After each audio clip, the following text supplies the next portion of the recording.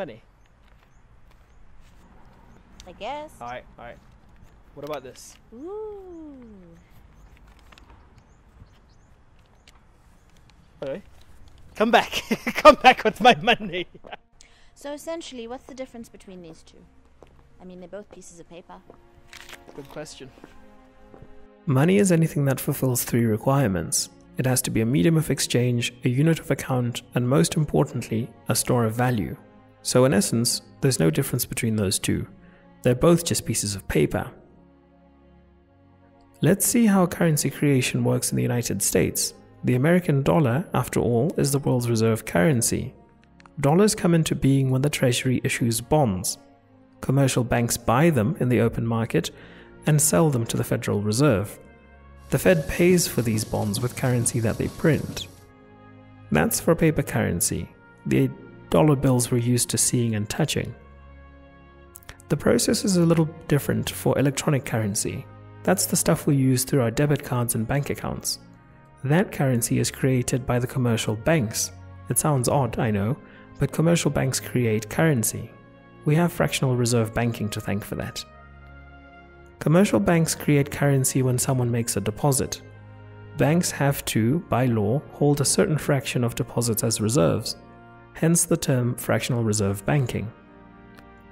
Let's assume a 10% reserve ratio. If someone deposits $100 into the bank, the bank holds $10 as reserves.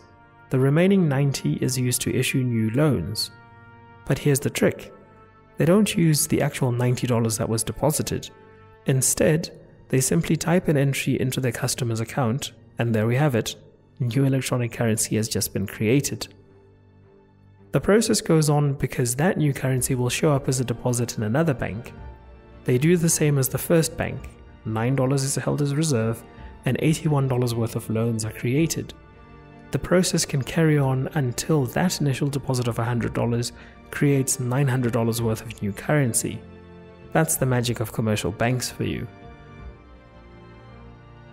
But all of this is debt.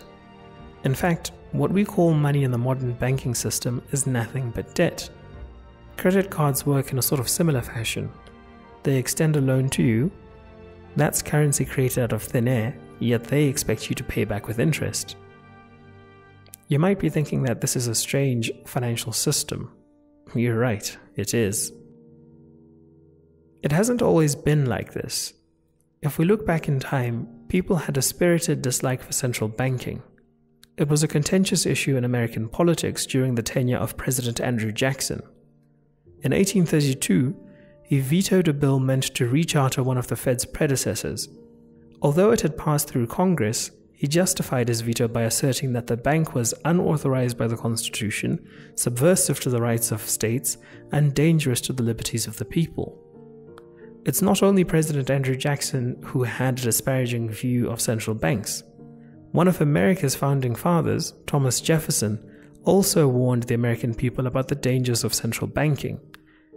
He said, if the American people ever allow private banks to control the issuance of their money, first by inflation and then by deflation, the banks and corporations that will grow up around them will deprive the people of their property until their children will wake up homeless on the continent their fathers conquered.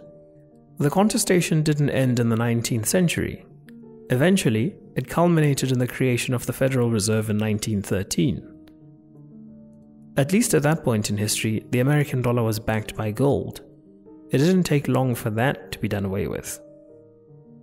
In 1971, President Nixon temporarily suspended the convertibility of dollars into gold. I have directed Secretary Connally to suspend temporarily the convertibility of the dollar into gold or other reserve assets, except in amounts and conditions determined to be in the interest of monetary stability and in the best interest of the United States. From that moment on, the American dollar ceased to be money and became nothing more than fiat currency. Bear in mind that for the individual, this ability to exchange dollars for gold had long since disappeared.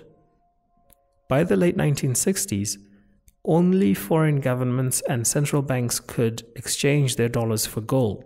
Many people are coming to realize that crucial truth about the Federal Reserve. It's not federal in the sense of being a part of the American government. What is the uh, proper relationship? What should be the proper relationship between a chairman of the Fed and a president of the United States?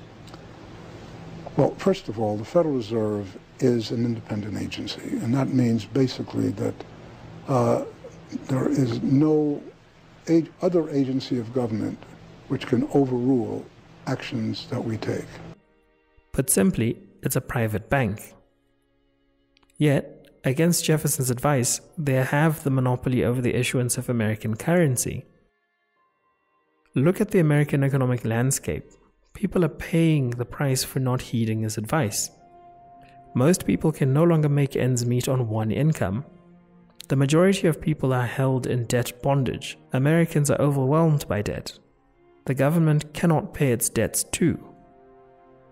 That the American government can't possibly pay all of its debts seems an incredible suggestion, false even, but it's true. There is not enough currency to pay off the debt. Another quirk of our current monetary system is that paying back debts is deflationary because it reduces the amount of currency circulating in the system. Perhaps that's why successive American presidents are in the habit of accumulating debt. This fractional reserve central banking system is not limited to the United States. It's in force all over the world. Recent political debates in South Africa brought to public attention that the South African Reserve Bank has private shareholders. The Reserve Bank has warned that nationalizing the entity would only have dire consequences for the country. Speaking to the SABC, Reserve Bank Governor Lesetja Kganyago said the move would only benefit a few individuals with self seeking motives. This week, the ANC's Deputy Secretary General Jesse Duarte said the bank was failing to cushion the RAND because it was privately owned. Clearly, everywhere on earth, what we call money is not sound. It's confidence backed fiat currency. With the creation of currency unhinged from any hard limit, the results are likely to be disastrous. And disaster is exactly what we got from this system. There have been many financial crises rooted in the rapid expansion of credit or currency that characterizes the modern financial system. One crisis worth talking about is the 2008 subprime mortgage crisis that almost sunk the entire world's financial system. In the wake of the September 11, 2001 terrorist attacks, the then Federal Reserve Chairman, Alan Greenspan, lowered interest rates to historically low levels. We found out earlier on that borrowing creates currency. Loosening interest rates in the manner that the Fed did greatly expanded the supply of currency in the American economy. That's because many more people borrowed more money, more currency. This newly created currency found its way into the housing market. House prices went up, and that fueled greater speculation. Along with that, predatory practices by mortgage brokers meant that variable interest rate mortgages were sold to people whose ability to pay was questionable. Disproportionately, the victims were poor. When interest rates went up, more and more people found it difficult to pay. Not surprisingly, many began to default. This brought carnage onto the financial markets. This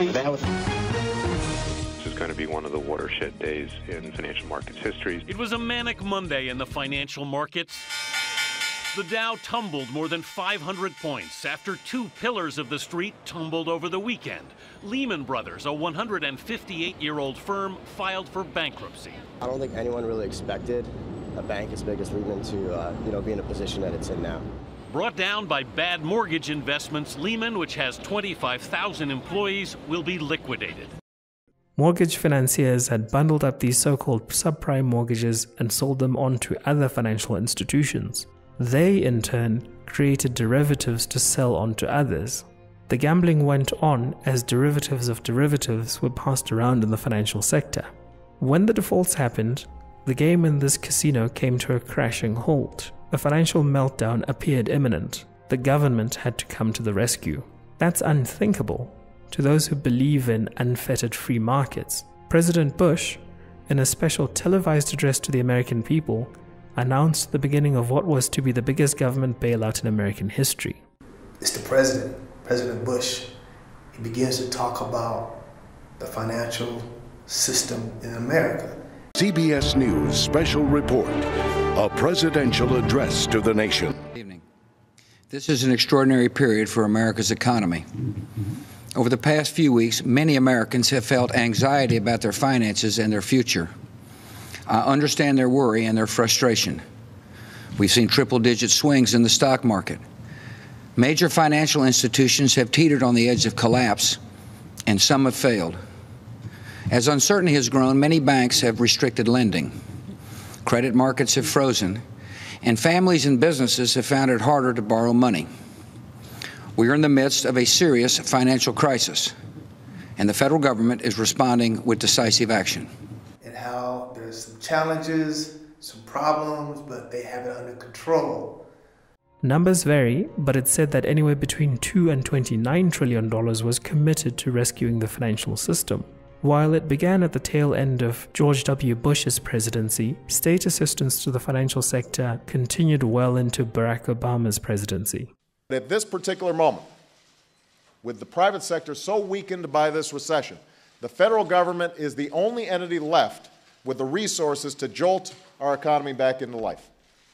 In reaction to the banker bailout and general concerns about fiat currency, an anonymous brilliant person or persons going by the name of Satoshi Nakamoto created Bitcoin.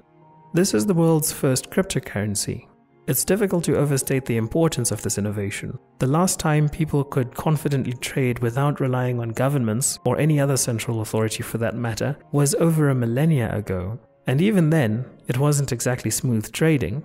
With the arrival of cryptocurrency, a veritable means of transaction between individuals in a totally free way was now here. What an incredible thing Bitcoin is. It's still here working after I don't know how many years it's been and it hasn't even been changed and it doesn't it's not owned or controlled by any company. So we recognize we said blockchain now allows you to have no central control. Everything's diversified and because everything has records that are duplicates of each other, it's totally trustable. There can't be any mistaken uh, records in there. Along with cryptocurrency came blockchain technology. The latter was necessary for the former. As the old adage goes, necessity is the mother of invention. To ensure the smooth and reliable functioning of Bitcoin, Nakamoto had to solve a problem that is inherent in electronic currencies Without a central authority, how can it be made certain that the same unit of currency is not spent twice? Centralized electronic currencies don't have this double spend problem. In their system, effectively there's one central ledger that keeps track of all transactions. Because Bitcoin is underpinned by a desire to have trustless money, having a central authority was not an option. The solution Nakamoto came up with was blockchain. Simply, blockchain is a distributed ledger. Leveraging the power of maths, distributed copies of the ledger are kept current with one another. This was an ingenious solution to the double spend problem without requiring a trusted central authority. As great as this innovation was, there's one big problem. Bitcoin is much like fiat currency in the sense that there is no value underlying it. That there is a hard limit to how much Bitcoin there can be is great, but fundamentally, with nothing backing Bitcoin, how much further have we gone from fiat currency? This is why asset backed cryptocurrencies like Goldma's GMA token are important. It's important to underpin blockchain cryptocurrency with a strong foundation. Gold can be that foundation. Gold has always been the real money, in fact, gold is unique in the sense that it doesn't change. The gold that the Lydians used around 650 BC could physically be the same gold sitting in a bullion bar in a vault somewhere. The same applies for the gold that Cleopatra had. Look at the price of gold ever since 1971. It has held its value much better than the United States dollar. In simple terms, ever since the removal of the gold standard, it takes many more dollars to buy the same ounce of gold. So the solution was blockchain married with gold in places where people would not necessarily go. People are not clamoring to come mine in Africa, not your big corporations. You don't see these huge corporations clamoring. They're here, so some here, but on a very, very small scale relative to the amount of gold here. Now, for whatever reason, people have not caught on to that, and I wanted to take advantage of the opportunity I had to actually get here, establish a company, take this business plan and this idea and expand on it into a, a business plan. And not only a business plan, but something that can be expanded into a vision. A vision where intrinsic value is introduced into the blockchain, and then that blockchain technology is now a global product. Money, 21st century money, has to be the amalgamation of the freeing technology of blockchain with the historically stable store of value that is gold. While in theory there are other solutions, this one is right here, right now.